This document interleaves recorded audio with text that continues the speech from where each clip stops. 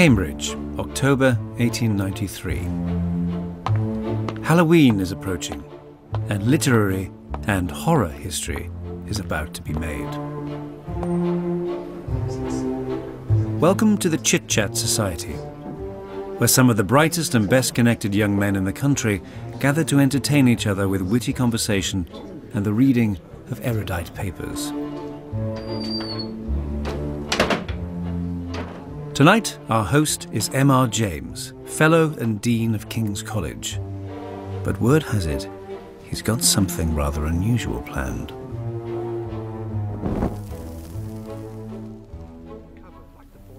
Do the audience have any inkling that they are present at arguably the most important event in the history of the English ghost story? The moment when Monty James, its greatest master, unveils his first two tales of terror. The boy, a thin shape, with black hair and ragged clothing, raised his arms in the air. The moon shone upon his almost transparent hands, and Stephen saw that the nails were fearfully long, and that the moonlight shone right through them. And as he thus stood with his arms raised, he disclosed a terrifying spectacle. On the left side of his chest, there opened a black and gaping rent.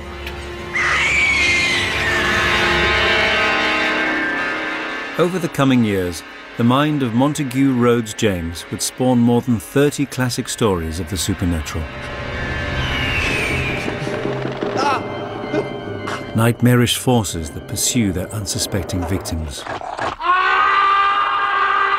Monstrous guardians of ancient buildings. Horrors that lurk in the idyllic English countryside. Violent retribution and black magic. Yet all these horrors were conjured up by a man who seemed the quintessentially respectable Victorian, a leading scholar, a devout Anglican. How did M.R. James come to create such an extraordinary body of work? I'm going to find out the truth behind this contradiction and see how the strange world of M.R. James's childhood, his precocious imagination, his unrivaled knowledge of morbid legends, and his repressed sexuality all came together to produce the finest and most frightening ghost stories in the English language.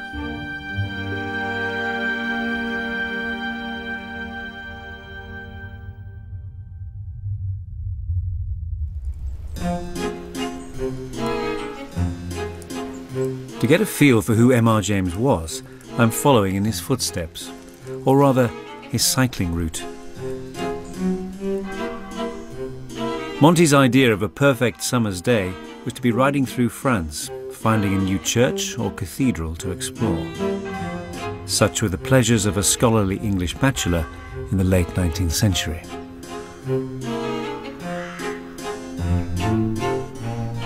And it was one of these excursions that brought Monty here, to the foothills of the French Pyrenees.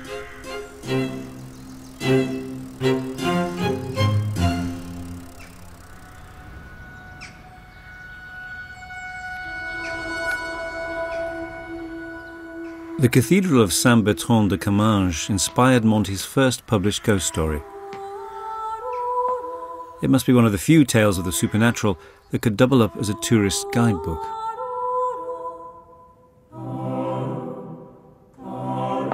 Previous ghost story writers tended to favour atmosphere over detail. But Monty carefully draws the reader's attention to the stained glass, choir stalls, and the dusty stuffed crocodile that hangs over the font.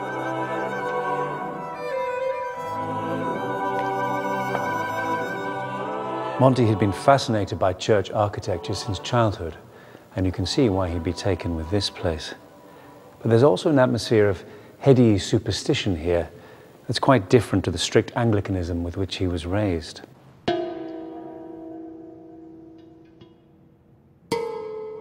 Just as Monty's emphasis on believable settings was unprecedented, the central figure of his story was a new, yet easily recognizable kind of protagonist.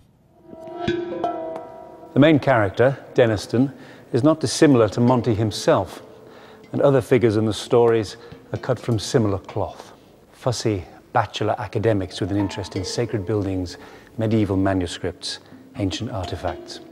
But above all, an abiding curiosity that rather gets the better of them, with grave consequences.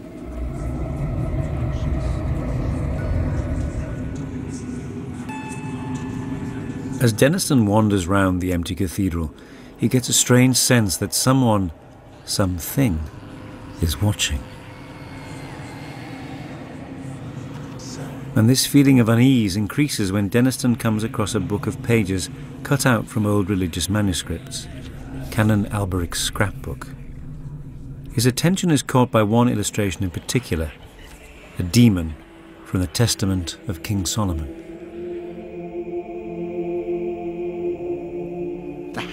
Hands of a dusky pallor covered like the body with long coarse hairs and hideously taloned. The eyes, touched in with burning yellow, had intensely black pupils. If you can imagine one of the awful bird-catching spiders of South America translated into human form and endowed with an intelligence just less than human, then you will perhaps have some faint conception of the terror that is inspired by this appalling effigy. Monty's account of the picture is the first genuinely chilling moment in his work. His description of the demon would certainly discomfort anyone with a fear of spiders. Monty was a notorious arachnophobe. But it's a line at the end of the passage that continues to haunt my memory. One remark is universally made by those to whom I have shown the picture. It was drawn from the life It was drawn from the life. Those few simple words are like a punchline, opening up a terrifying possibility that a mythical demon could actually exist. As the unfortunate Dennistoun discovers when he retires to his lodgings to pore over the scrapbook. His attention was caught by an object lying on a red cloth just by his left elbow. A rat? No, it's too black. A large spider? Oh, I, I trust to goodness not. Good God. No. It was a hand. Like the hand in the picture. He flew out of his chair, deadly inconceivable terror clutching at his heart. The shape, whose left hand rested on the table, was rising to a standing posture behind the seat, its right hand crooked over his scalp. What's remarkable, perhaps even uncanny, about Canon Alberic's scrapbook is just how fully formed it is. The pacing, the building of atmosphere and menace are masterly for a first story. Not a word seems out of place and Monty's conversational tone only adds to the feeling of veracity. Canon Alberic's scrapbook may have been inspired by M.R. James's travels in France, but it drew on a lifetime of experience. The roots of Monty's stories lie in his childhood in England, when his fascination with history and the supernatural was shaped. Montague Rhodes James was born in 1862, and when he was three, his family moved to Great Livermere in Suffolk.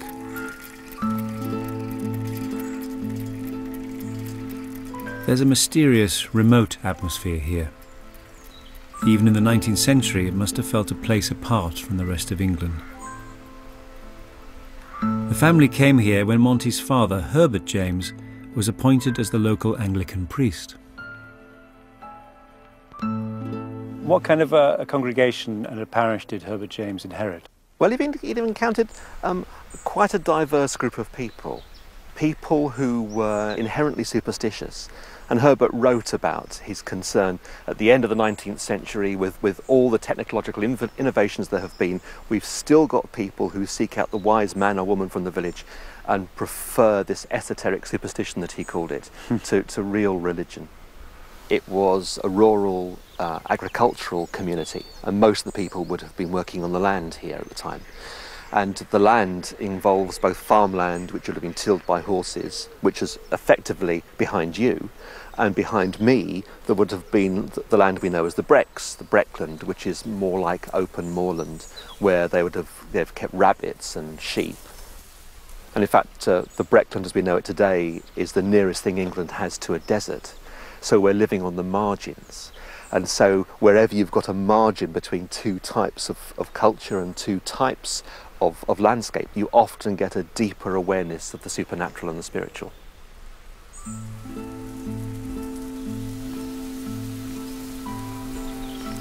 Monty would later draw on the area's history and superstitions in his writing. But it's easy to imagine how the powerful atmosphere here might have fed his boyhood imagination, especially when combined with the piety and religious devotion that characterized family life at the great Livermere Rectory.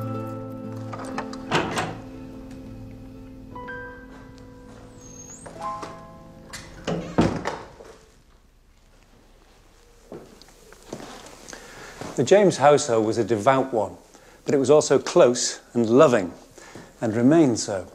Monty's letters throughout his life are open and affectionate. All that religion, though, does seem to have filled Monty's childhood imagination with some quite extraordinary visions.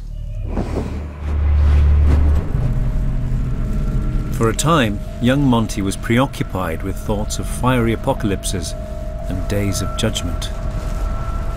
And although Monty never claimed his tales were inspired by personal experiences of the supernatural, a short work published after his death suggests that on one occasion he may have glimpsed a frightening figure in the rectory grounds.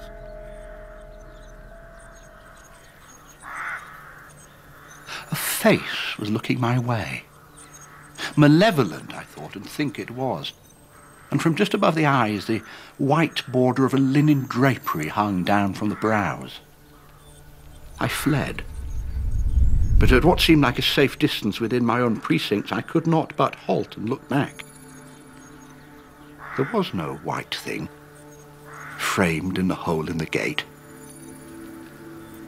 But there was a draped form shambling off through the trees.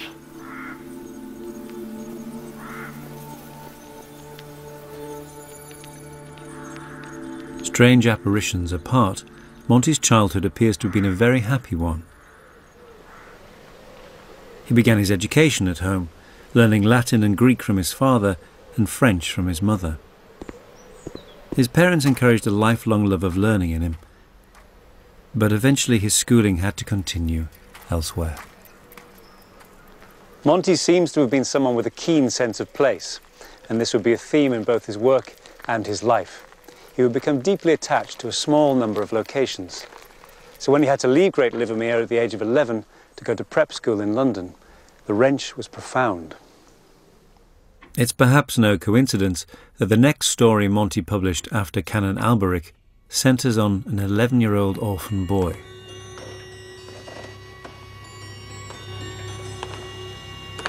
Lost Hearts tells of Stephen, sent to live at the home of his sinister, much older cousin. The cousin turns out to be an alchemist, seeking immortality, and the house is haunted by the spectres of two children he has murdered in the course of his experiments. Quick, or we'll be late. Quick, dear boy, dear boy, we have so little time. The potent hour has come. It's one of Monty's grimmest stories. The lasting impression is of isolation and the vulnerability of children.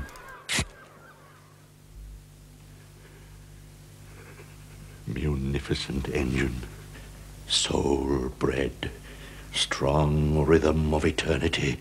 But with its occult references, Lost Hearts is also suffused with arcane knowledge. Generous boy. Something which would define Monty's later childhood. Here lies your fortune, ordained by the heavens, sanctioned by the ancients. Your innocent heart must be the beating cornerstone to the gate, that unspeakable gateway by which I will enter into it.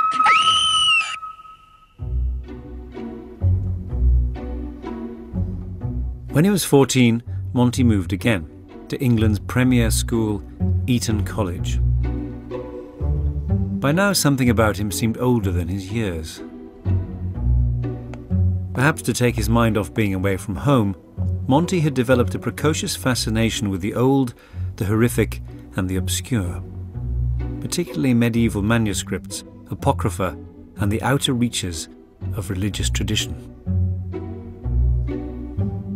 When I left for Eton, it was with plenty of hobbies in the bookish line. I collected martyrdoms of saints, the more atrocious the better, and biblical legends. Nothing could be more inspiriting than to discover that St. Levinus had had his tongue cut out and was beheaded.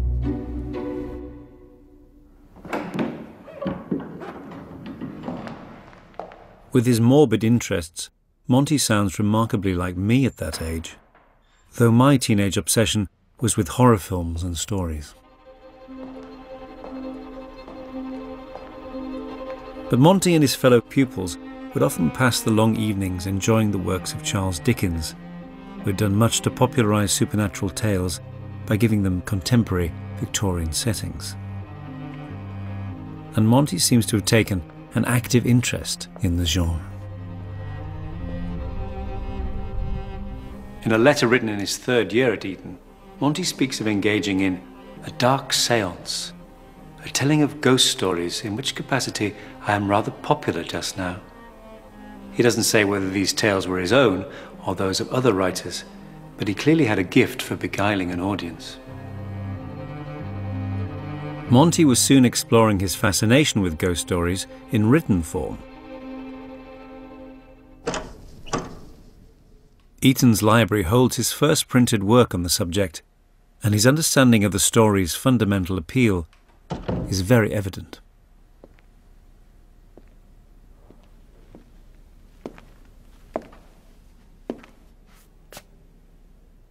This is the Eton Rambler, a publication set up by Monty and a few friends when he was in the sixth form. The second issue features a short essay by Monty on the subject of ghost stories.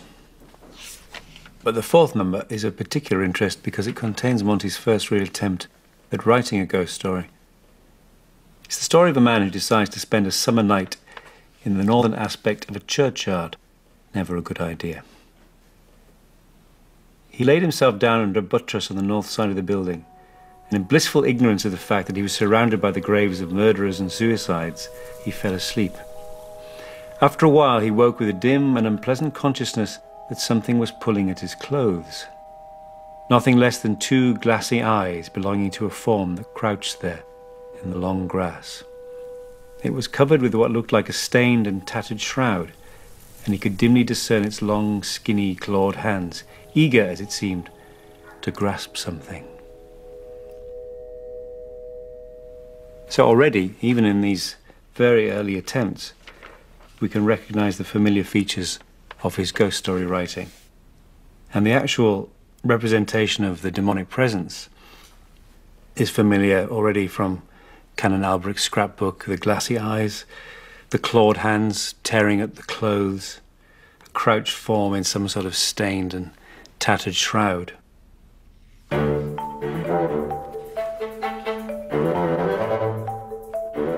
In contrast to his time at prep school, Monty's years at Eton would be among the happiest of his life. He became a socially confident and academically accomplished young man. In true English public school fashion, he also learned to wear his intelligence and learning lightly.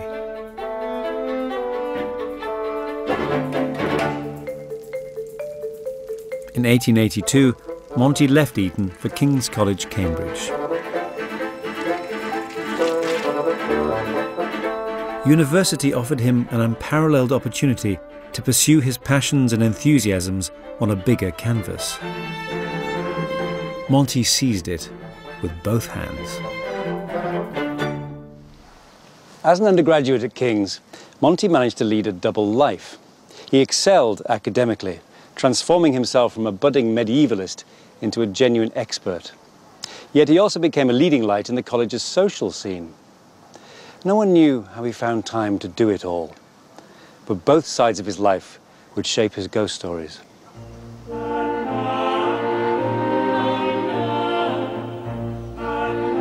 When it came to his studies, Monty spent much of his time at the University Museum, the Fitzwilliam. The museum boasted a wide range of antiquities. But what drew Monty here was its extensive library of medieval manuscripts. And he didn't come just to read the manuscripts. Monty had an unprecedented ambition to catalogue the collection. It was here at the Fitzwilliam that Monty embarked on what he truly regarded as his life's work. Compared to this, he saw his ghost stories as just an entertaining sideline. What Monty accomplished here was groundbreaking and has ensured his lasting reputation in the field of medieval scholarship. And remarkably, he did much of it as an undergraduate.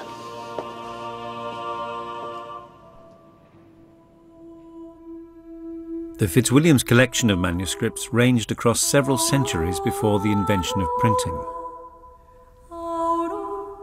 Written, illustrated, and bound entirely by hand, many were biblical and devotional texts. Information about their provenance was often scanty and incomplete. By studying and comparing the manuscripts, Monty sought to pin down their origins and authorship it was an opportunity both to draw on and expand his detailed knowledge of the medieval period. How would you say Monty's approach was different in terms of examining these manuscripts? Up to that point, manuscript research was primarily driven by the importance of the text. But he was one of the very first people to pay consistent and considerable attention to the pictures, the illuminations. Monty's catalogue of the Fitzwilliams manuscripts was published in 1895. He'd go on to document many more of the country's great collections, including those at Lambeth Palace and Westminster Abbey. Well, it is truly staggering and more or less unrivaled to this day. The sheer scale of his achievement is unmatched. Can we take a look at some of the manuscripts? Of course this one, which is um, a mirror of sinners. So uh, mm. a, a, highly moralizing poem on what awaits you after death, especially if you have been uh, a self-indulgent, um, lustful, uh, and avaricious sinner. And James commented. James commented on the images in this manuscript as a very fine execution, but most terrifying and repulsive. Mm. And they truly are. Mm. You can imagine that he had these sort of things in mind for his demons. Oh, easily.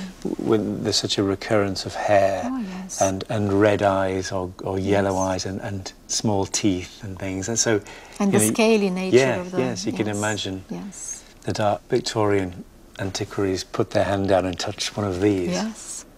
But the one that terrifies me most is actually this one because you see the corpse oh, yeah.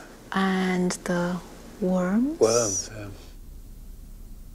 I suppose it really is his sort of unique contribution to the ghost story form, is that nobody else had this incredible um, reservoir of material to draw on. You get the feeling from his notebooks alone that uh, all these things came together for him. And this cross-fertilization, of course, helped with the ghost story writing. The historically accurate detail that creates the background for the supernatural in the ghost stories derives from this uh, very wide-reaching research and absolutely thorough understanding of history.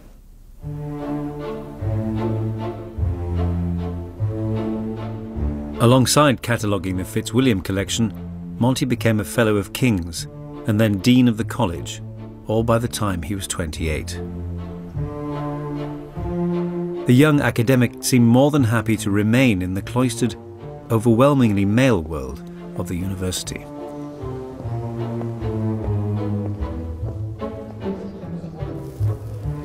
When he wasn't working, his main diversion was pure socialising, and Cambridge clubs like the Chit Chat Society provided the ideal forum.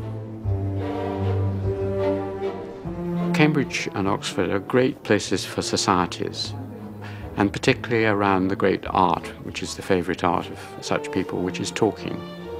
So as soon as James came here, uh, he would have been a good talker, and people would have said that James character, you know, we should have him in the Chit Chat Society. Because it's a place where you get together over a glass in the evening with people you like, and you take it in turns to entertain each other.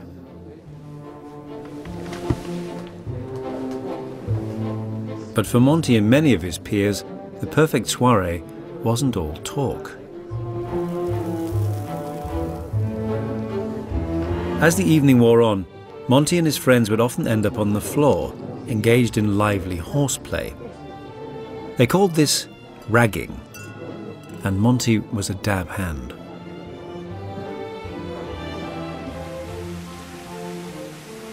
One participant recalled writhing on the floor during the rag with Monty James's long fingers grasping at his vitals.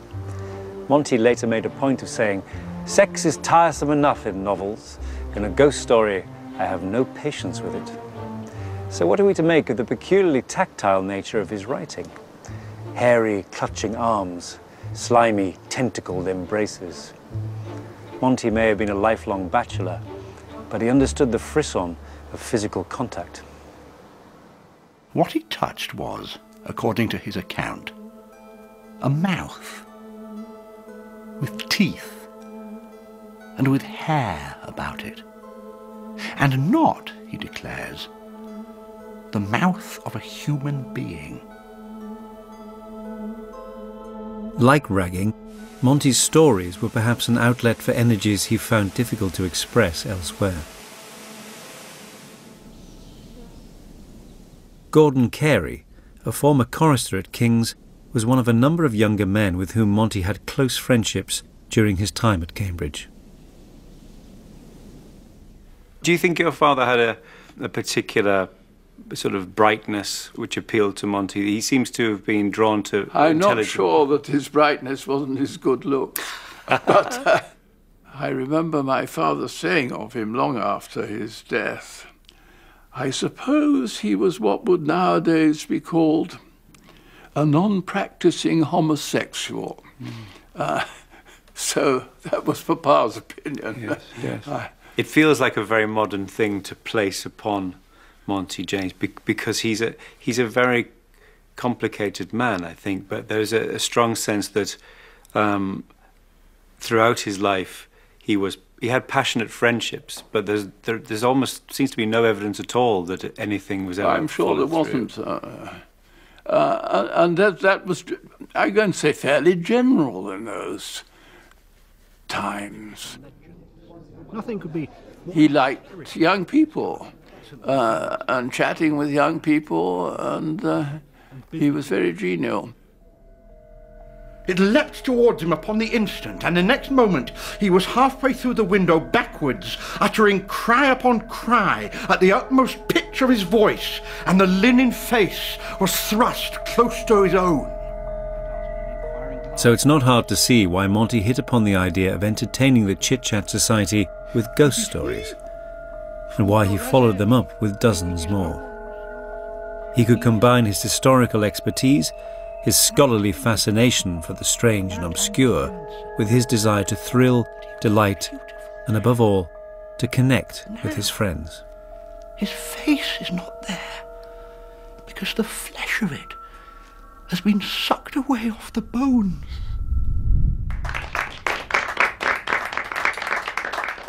What else allows you to hold an audience in the palm of your hand, to manipulate their emotions and expectations better than a ghost story? But what must have made the readings really compelling was the rich detail and knowledge that Monty brought to them. It sounded as if he knew whereof he spoke. Monty had started something of an institution. His stories became an annual ritual at King's, where he'd often present a new one each Christmas. But he was hardly a prolific ghost story writer. His academic commitments came first. In addition to his duties at King's, Monty had been appointed director of the Fitzwilliam Museum, even before his catalogue of its manuscripts had been published. Still only in his early 30s, Monty was very much a Cambridge high flyer, albeit something of a traditionalist. Uncomfortable with pressures to modernise the university, he was particularly resistant to women being awarded degrees. Monty may have been blessed with a remarkable intellect, but he wasn't exactly what we might call a free thinker. The modern world was being born around him here at Cambridge, but Monty's response seems to have been highly conservative. And that suspicion of change, his struggle with it, underlies what is perhaps his best known story.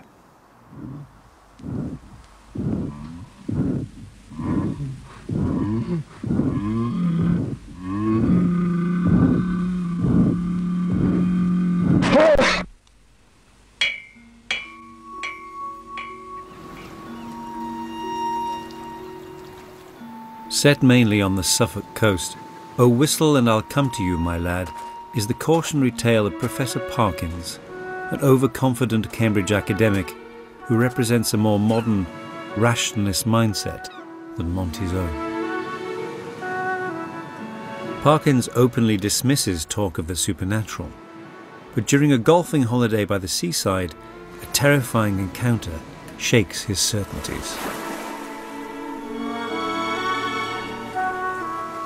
It's not surprising Monty found the Suffolk coast so evocative. The powerful winds blowing in from Scandinavia and Northern Europe, the sea defences struggling to hold back the water's relentless attempts to reclaim the land. Pagan elemental forces are at work here, purposeful ones.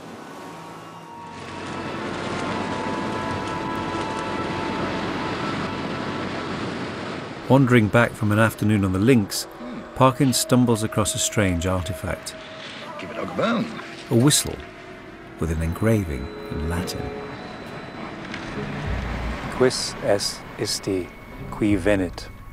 Who is this who is coming? As Parkins soon discovers, something is indeed coming. He can't resist blowing the whistle and finds himself caught in a strange dream. He seems to have released some kind of power in the wind, in the air itself.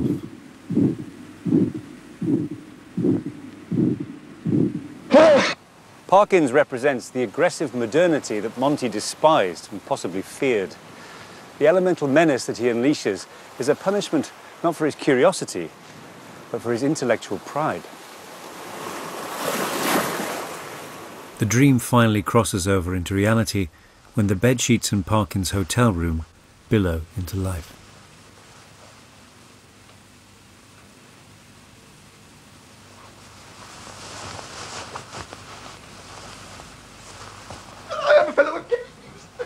The sense of being trapped in a waking nightmare was brilliantly captured by Jonathan Miller in his celebrated television adaptation. The real visceral power of, of Whistle is it really is like a nightmare. I think a lot of people would watch that and say that's the closest they've seen to someone getting or representing what it's like to have a nightmare. And actually, everything that happened in the uh, in the whistle, and I'll come to, uh, he finds it hard to distinguish what he dreams about and what he thinks he actually sees, if indeed he actually sees anything.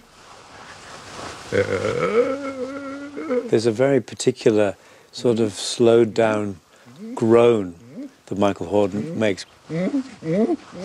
Well, that's what I remember in the, the moments when I've had bad dreams and have woken suddenly. Often find it very difficult to articulate something. I and then suddenly you wake up. And then what has been in the dream diminishes and disappears. Um, but nevertheless, it remains perhaps for a little while because the dream itself is very disconcerting. Oh, no. Oh, no. I always certainly think that that's it for Professor Parkin. Yes, well, I don't think it is. You see, I think what happens is that he would be, if he told the story again when he went back to uh, to Cambridge, he might have said, I, I was very disconcerted by something that happened to me, but of course, um, how could I possibly believe that the sheets would get up and attack me? Um, but nevertheless, at that moment, I, I, which was obviously a dream, um, I did have a dream of, uh, to that effect. A Whistle and I'll Come to You, My Lad features some of M.R. James's most memorable images, captured in these illustrations, which are approved by Monty himself. They were the work of a young artist called James McBryde, who would go on to play a pivotal role in the publication of the ghost stories and for a few years was perhaps the most important person in Monty's life.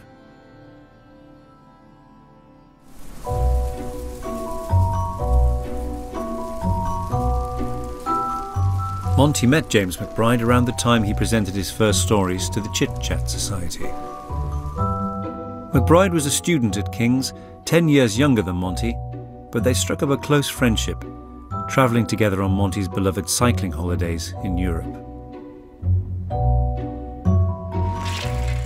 On one occasion in France, McBryde disposed of a particularly large spider that had crept into their bathroom.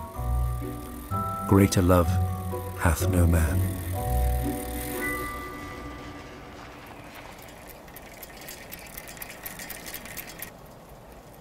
This is Dippersmoor Manor in Herefordshire, once the McBryde family home, where some of Monty's letters to James McBryde have been preserved. should really blow the dust off. There isn't really any, but it's, it feels correct. Here are, some on King's College notepaper. My dear boy, long since I heard of you, but not so long since I wrote. What is happening? I hope you are getting along with your exams. I think you had better keep Christmas here, had you not? This is the 3rd of January 1900. My dear boy, how are you? I took a slight influenza on Christmas Day, which has left me week from that day to the next. My principal object in writing is to get news of you. I want to know that you are recovered and that you've had no relapses or other unpleasant adventures. As many people commented, Monty's handwriting is execrable, almost indecipherable. Though at some point in several of these letters, he refers back to their beloved holidays in Scandinavia and actually lapses into Danish or Swedish. I can't actually tell because I'm not a scholar. There's nothing here that would trouble a biographer trying to find hidden depths of passion, but there is a, a gentle thread of affection and solicitude from Monty towards McBryde, which is actually very touching. Each of the letters begins, My dear boy, and ends Ever your affectionate MRJ. James McBryde's marriage in 1903 appears to have had no ill effect on his friendship with Monty. And that friendship seems to have led Monty to collect his early stories in book form the following year.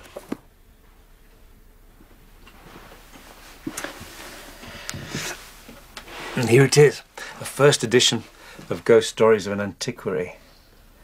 Very beautiful book. Now nicely mottled and foxed with age, as is appropriate. I feel a bit like Monty must have done with his medieval manuscripts. McBryde wanted to be an artist, and Monty probably saw the book more as a means to promote his friend's work than his own. It's a very good one here. The Canon Alberic's scrapbook. It's probably the first visual representation of one of Monty's demons.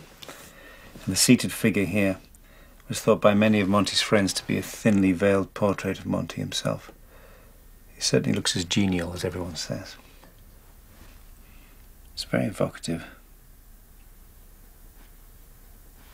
The other thing that strikes you as unusual is the curiously unfinished quality of this book. There are only four illustrations. Monty may have meant it as a way of pleasing and promoting James McBryde, but it turned into something quite different a memorial. In May 1904, McBryde, who had trouble with his appendix, became gravely ill. Despite an apparent improvement, he died the following month, with his wife still pregnant with their daughter. McBryde was buried in Lancashire on the 8th of June. Monty, in the words of a friend, was broken-hearted. On the day of James McBryde's funeral, Monty took the train to Lancashire, carrying a selection of flowers from the Fellows' Garden at King's. He waited until the other mourners had gone, and then threw into McBryde's grave lilac, honeysuckle, and roses. It wasn't in Monty's nature to be demonstrative about his feelings, but that may well have been the saddest day of his life.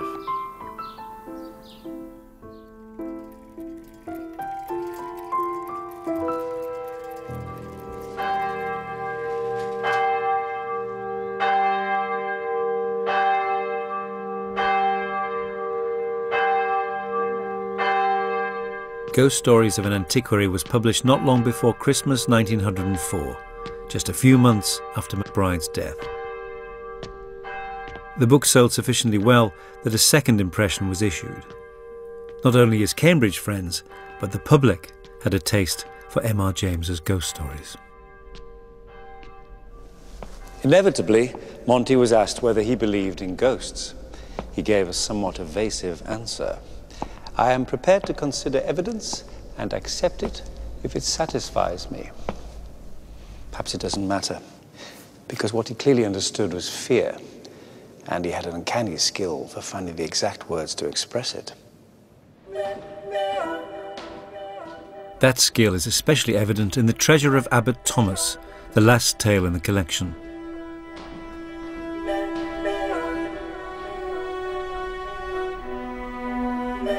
Drawing on Monty's expertise in stained glass, it tells of an antiquary who discovers a set of clues in some windows that lead him to a trove of buried gold in a German monastery.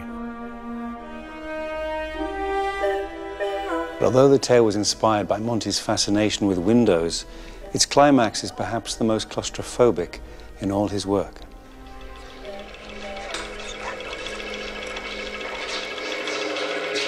The antiquary identifies the location of the treasure in the monastery's well. One night he descends into it to find the bag of gold, or what seems like it. The great bag hung for a moment on the edge of the hole.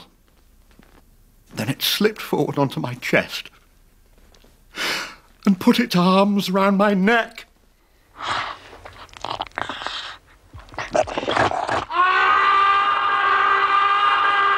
I believe that I am now acquainted with the extremity of terror and repulsion that a man can endure without losing his mind.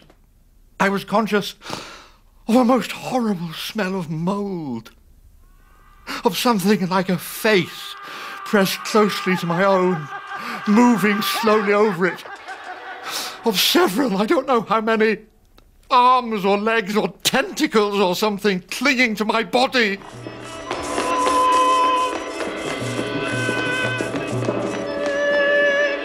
The Treasure of Abbot Thomas was among the first stories to kindle my own passion for the work of M.R. James. But I didn't encounter it in book form. Rather, it was one of a series of television versions shown every Christmas when I was a child.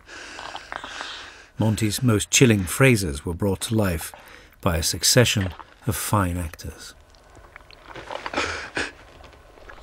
I can vividly recall the BBC's M.R. James adaptations of the early 70s and the profound impact they had on me. Robert Hardy's desperate exhortation, I must be firm, in the stalls of Barchester. Michael Bryant's chillingly logical response to the treasure of Abbot Thomas, it is a thing of slime, slime and darkness. And perhaps most memorable of all, Peter Vaughan in A Warning to the Curious, when asked what he will do with his recently rediscovered crown of East Anglia, he simply says, I'm going to put it back. I beg your pardon? I'm going to put it back, back in the ground. Saying everyone's in a hurry, hurry, hurry. It was my love of these dramatisations that led me to direct my own interpretation of an M.R. James story, the tractate Middoth.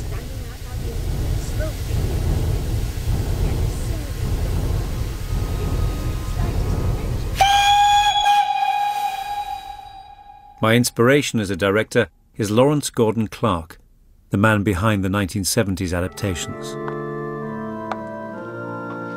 His first rendering was The Stalls of Barchester in 1971.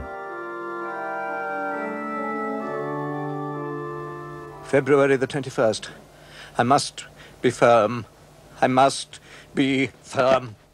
I was so excited to get this chance, and um, we were fortunate enough to cast Robert Hardy um, to play the lead, and um, he was terribly enthusiastic about it because he loved M.R. James.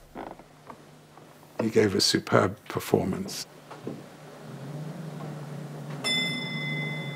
Robert Hardy's portrayal of the murderous archdeacon who gets his comeuppance was wonderfully complemented by the evocative location filming.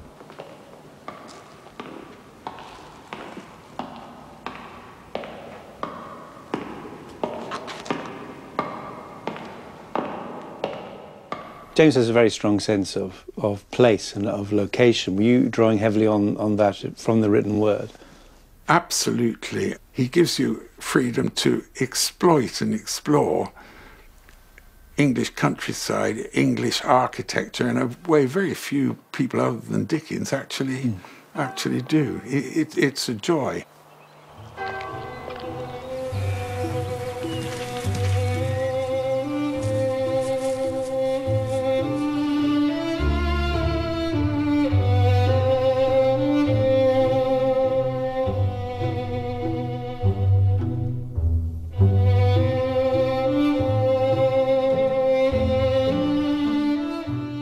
And it gave one a wonderful excuse to rediscover or discover areas and choose places where you could best impart tension and atmosphere.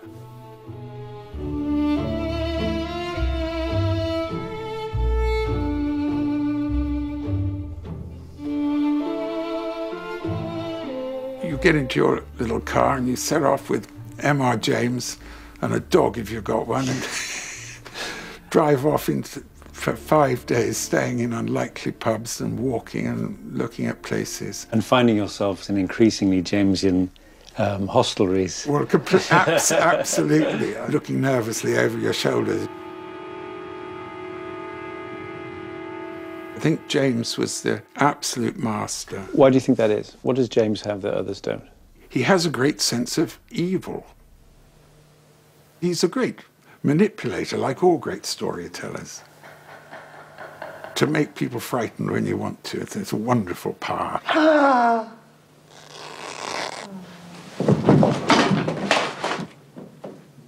That's basically what we're all in this for, isn't it? You know, it's that wonderful ability to, to entertain and to entrance. James had that. Monty would go on to produce three more volumes worth of stories, usually unveiling a new tale every year. And while he was now better known to the wider public as M.R. James, the ghost story writer, his academic duties at Cambridge remained the overwhelming focus of his life.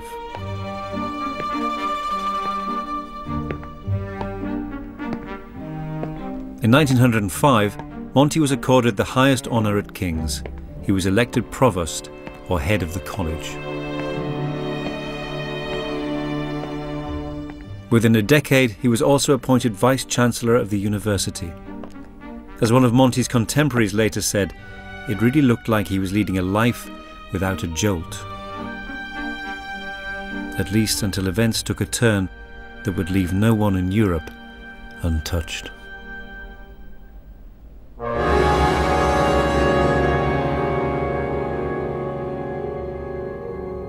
Difficult now for us to realize the great traumatic psychological effect of war at that time because the late Victorian periods before the war, it seemed a very mellow golden age. Uh, wonderful summers and the height of the British Empire, and uh, we were on top of the world and everything was fine and so on.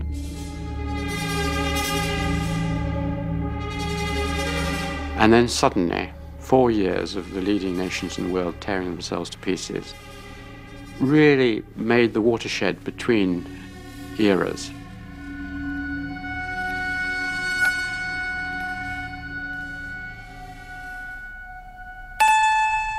The university provided a stream of young men for the officer class, many of whom were known to Monty, and many of whom never returned from the war. A military hospital was even set up on the King's playing fields. All around him, not only the reports of young people who he'd known being killed, but also perhaps going daily and seeing some of the ghastly effects of the war and the gassing and shell shock um, had a terrible effect, and, and also the point of Cambridge was lost because you didn't have the teachers and you didn't have the students. As a Victorian, which he was, um, he must have suddenly felt much older, must have felt that everything he knew, all the relations, all the symbols, all the myths, all the stories, all the friends, were gone. Monty never referred to the war directly in his ghost stories, but his later works betray a deepening sense of loss and despair.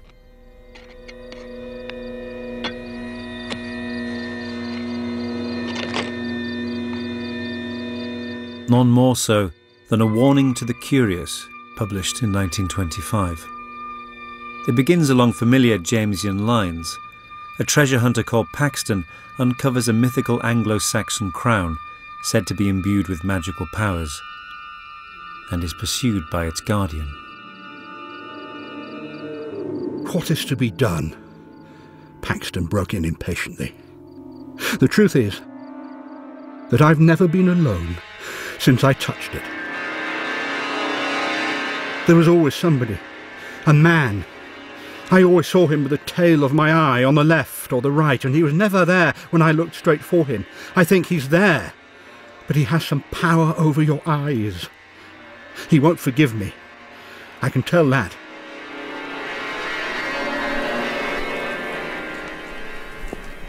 A Warning to the Curious feels like a kind of companion piece to A Whistle and I'll Come to You, My Lad. But the playfulness of the earlier story is nowhere evident. Paxton is a truly tragic character. We sense his vulnerability from the outset, and he pays very dearly for his theft. His death has a symbolic, ritual quality to it. We heard what I can only call a laugh.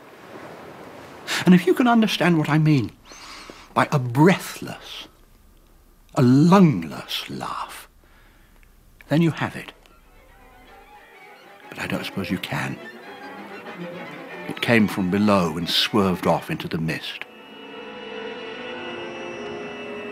We bent over the wall, and there was Paxton at the bottom.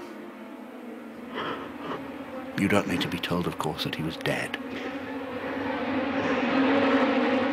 His mouth was full of sand and stones, and the teeth and jaw had been smashed to bits. I only glanced once at his face.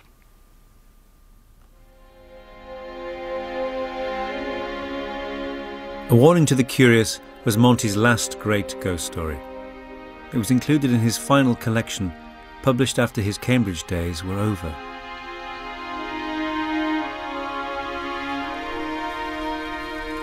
In a strange way, his life had come full circle. In 1918, with the war still raging, Monty had been invited to go back to Eton as provost of the college.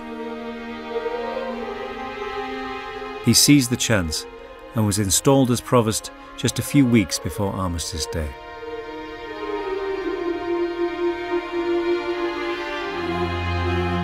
Monty had returned to the place where he'd spent his adolescence, perhaps his happiest years. Coming back seems to have brought a similar contentment. Monty was popular with his pupils, largely thanks to his keen sense of humour. This was something that sustained him even in the last months of his life when his health was failing badly. At the end, he had cancer. He knew he had cancer. Uh, he knew it was terminal unless he had an operation, and he decided not to have an operation. As a pupil at Eton in the 1930s, Adrian Carey regularly visited the ailing Monty, a long-time friend of his father. And I'd find him in bed in a dressing gown uh, uh, with bedclothes over it, and I used to wonder, surely you're getting pretty hot, but I think old people don't get hot in the same way. And he would talk away, spilling tea down the dressing gown. There was always a cup of tea there. I think it must have been nearly cold. Uh, but he would still drink a little and then prattle away. He would turn to Dickens or P.G. Wodehouse, which were among his favourite reading. He loved the moment when Bertie Wooster, having been through some scrape or other, appears like a tramp and approaches um, uh, some respectable person who says to him, Sad piece of human wreckage though you look, you speak like an educated man. and Monty applied this to himself in his dressing gown in bed and as he lay there, in a feeble state. But there, he was a lovely man. Montague Rhodes James died in the Provost Lodge at Eton at three o'clock in the afternoon on the 12th of June 1936, aged 73.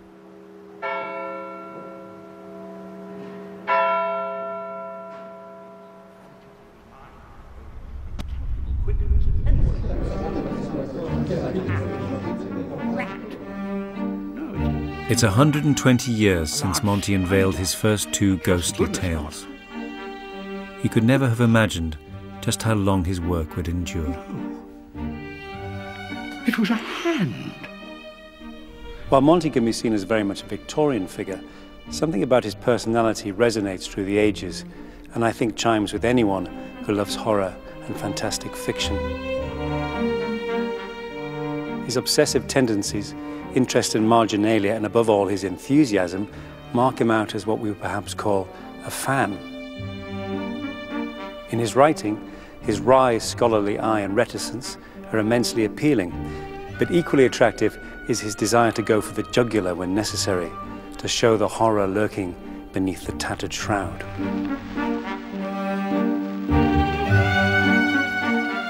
But it's important to remember that Monty intended his ghost stories as entertainment, a pleasing terror.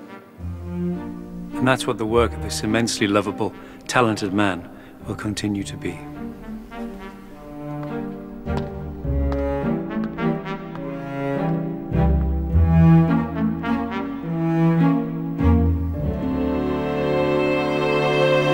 Psychological drama The 13th Tale is our feature next Monday at 9:30, starring Olivia Colman as a biographer and Vanessa Redgrave as a dying author with a dark secret.